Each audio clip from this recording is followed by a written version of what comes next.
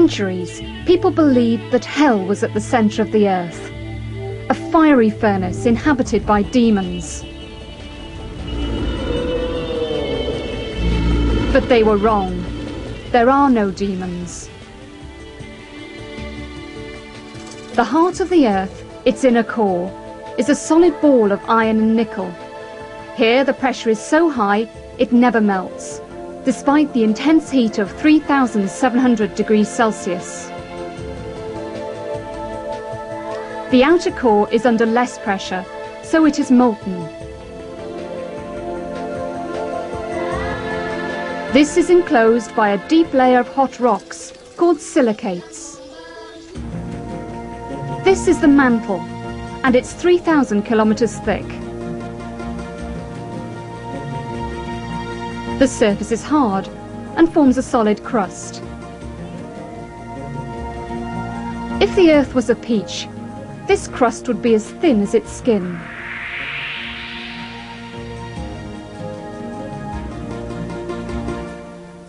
But the Earth's crust is cracked and brittle, like an eggshell.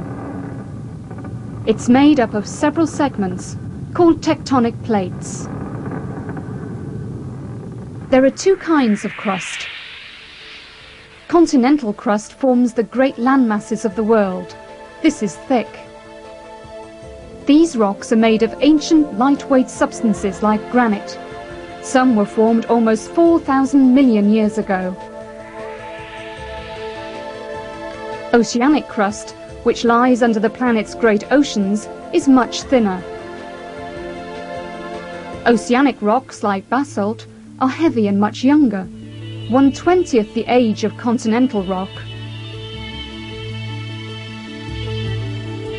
The plates float on the dense mantle. Scientists believe that the immense energy of the Earth's inner heat sets up convection currents in these rocks, which move the crustal plates about but very, very slowly. Some are moving apart. Some move towards each other. Other plates just slide past one another. These movements in our planet's crustal plates have created some of the most dramatic features of our world. Our mountain ranges,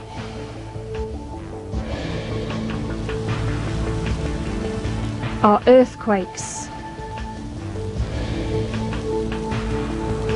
Our volcanoes, many of our islands.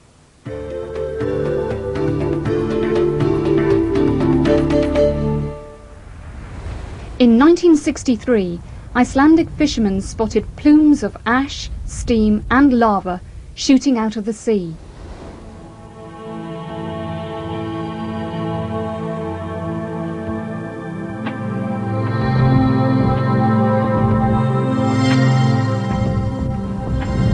Overnight, a new island emerged. Later, this would be named Surtsey. Lava poured out of the earth. The eruptions didn't stop until four years later.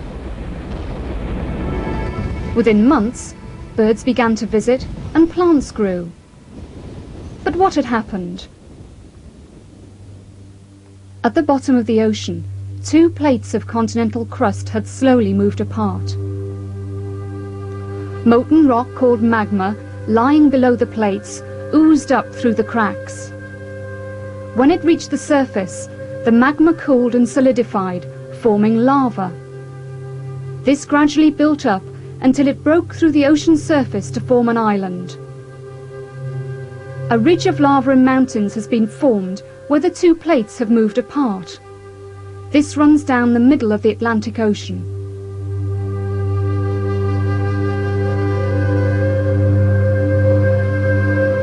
The plates are moving very, very slowly, less than 5 centimetres a year. But over time, this has added up.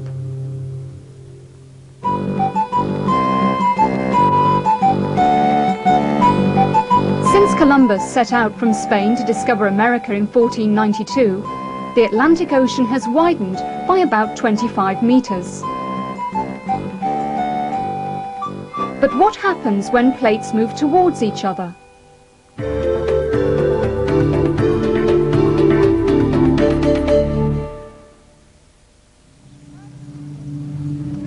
Volcanoes like Merapi in Indonesia are caused by the collision of oceanic and continental plates along what is known as a destructive margin.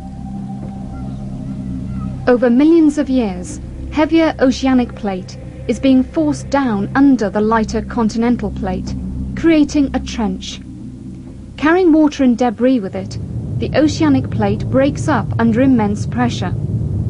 As it's forced down, it gets hotter and hotter, due to friction and because the temperature rises rapidly towards the Earth's centre. Eventually it melts, and the molten magma rises to form volcanoes some distance from the trench.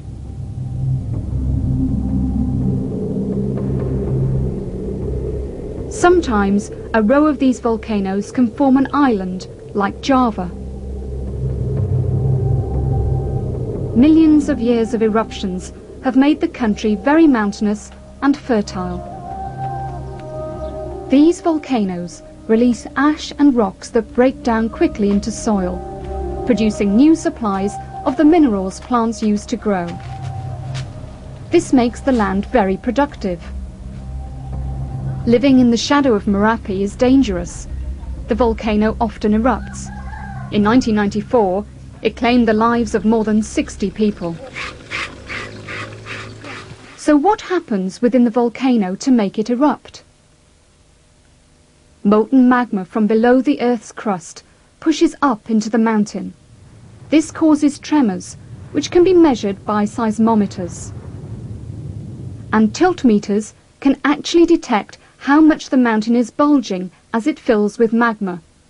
This is thick, like porridge, and when it reaches the surface, it solidifies into a hot, crumbly plug. Pressure on the magma builds up and bits fall off all the time.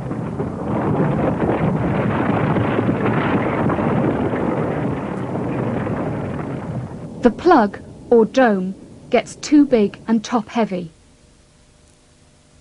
Eventually, it's forced apart.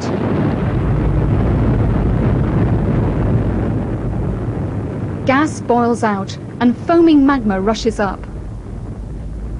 Shattered rocks and steam form a huge and heavy cloud that soon falls back to Earth, crashing down the mountain like a bulldozer.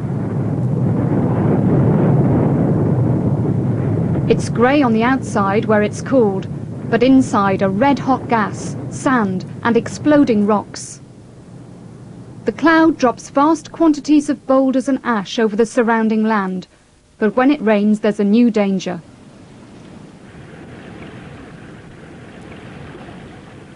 Water mixes with ash into a heavy mud flow, covering fields and villages, powerful enough to carry huge boulders along with it.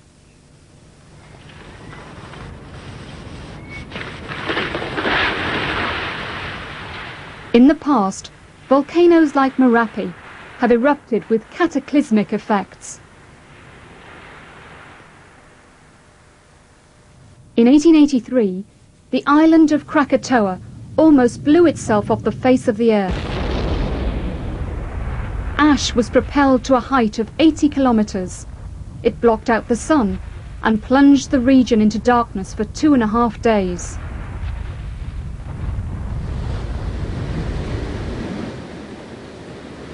It caused a tidal wave 36 meters high, which drowned over 30,000 people, sweeping around the world several times. The explosion was heard in Australia, over 3,000 kilometres away. But volcanic eruptions are not the only effect of the Earth's plates moving together.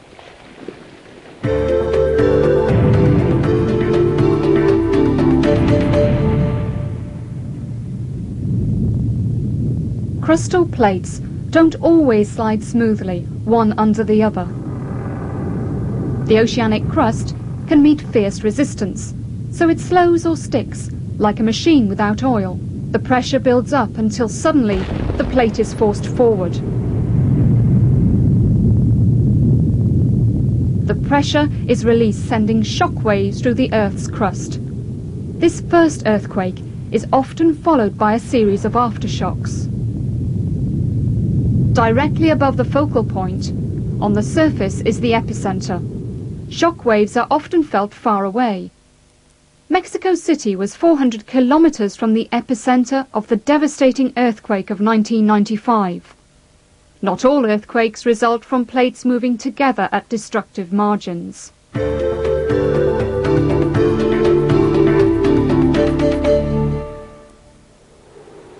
The Golden Gate Bridge, San Francisco. Here in California, on the western coast of the United States, people are living on a time bomb. This densely populated area is frequently hit by earthquakes. One of the largest occurred in 1906. Downtown San Francisco was reduced to rubble, causing fires which burned for three long hot days. San Francisco is built on the edge of the North American plate, next to the Pacific plate. The boundary between the two is called the San Andreas Fault. This has been caused by the two plates sliding past each other at a rate of 5 centimeters a year. The fault extends underneath this lake for over 1,500 kilometers from San Francisco south through California.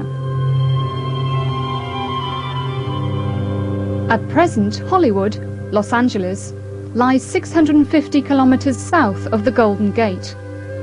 Both plates are moving northwest, but the Pacific plate is moving faster, and in 12.5 million years, Hollywood will be north of San Francisco.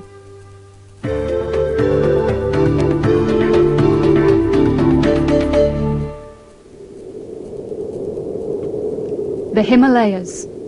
This is the highest mountain range in the world, and it's getting higher all the time. Every year, Mount Everest grows by one centimetre. These mountains are caused by the collision of two plates of continental crust. They're called fold mountains because the layers of different rocks within the Earth's crust, the strata, are folded and bent. Over time, erosion of the layers can occur at different rates, producing characteristic jagged rock formations. The Himalayas mark the boundary between the Indian plate and the Eurasian plate. There, two sections of continental crust are moving towards each other. The world's major fold mountains, volcanoes and earthquake zones all lie on or near the boundaries between the Earth's tectonic plates.